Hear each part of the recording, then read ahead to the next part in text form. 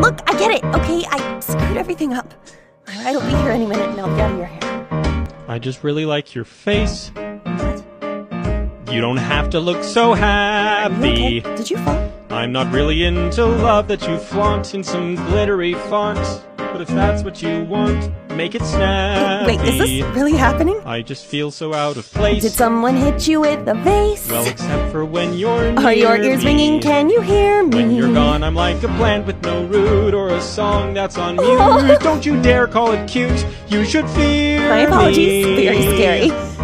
And if the world was perfect, well, you would have never invaded my space. I told you The there'd be something you could like. Now I like your stupid face. I knew it!